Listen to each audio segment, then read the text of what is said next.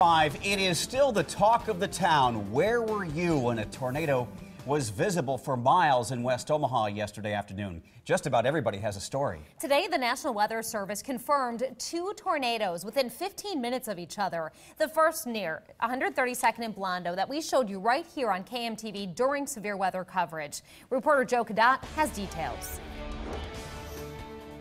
Saw the clouds go up right here, right by the side of the house. And that's when we took off to go downstairs. Deb Sampson says she watched the tornado lift just outside their bedroom window. All of a sudden, there was like an implosion. Yeah, they were going up. Everything just sucked up, and we started to hear a freight train noise.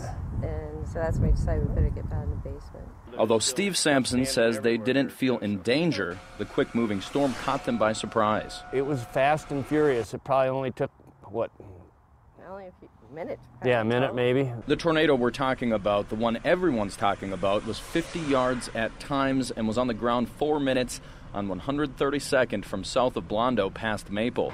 A few blocks from the Sampsons, fences torn apart, trees down, and debris scattered in yards. A cleanup effort underway by neighbors and landscapers. Kevin Reddick owns Husker Tree and Landscaping and says he's always prepared for phone calls when weather turns south. It didn't stay down long enough uh, to do as much damage as it could have done.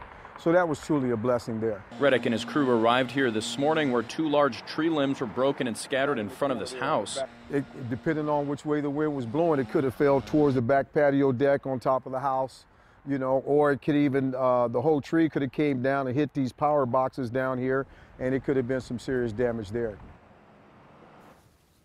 Joe Cadat reporting a second, much smaller tornado touched down about 10 minutes after that, just before 4. That one was at 146th and Ida in far northwest Omaha.